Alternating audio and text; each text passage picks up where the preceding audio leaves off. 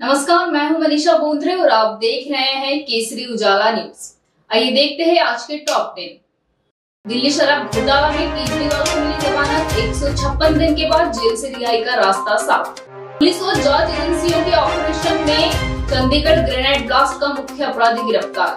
शरद पवार बोले, अरविंद केजरीवाल की जमानत से साफ़ हो गया कि लोकतंत्र की नींव अभी भी मज़बूत अमृतपाल के समर्थकों सहित कई लोगों के ठिकानों पर एनआईए की रेड। दिनों के अमेरिकी दौरे पर पीएम मोदी क्वाड लीडर शिखर सम्मेलन में लेंगे हिस्सा।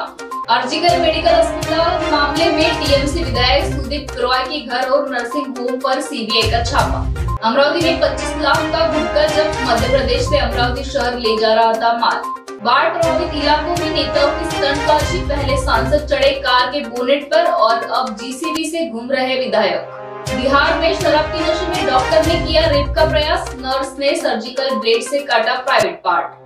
भंडारा में खेत में फ़सल देखने गए किसान पर मधुमक्खियों ने हमला कर दिया, जिससे किसान की मौके पर ही मौत हो गई।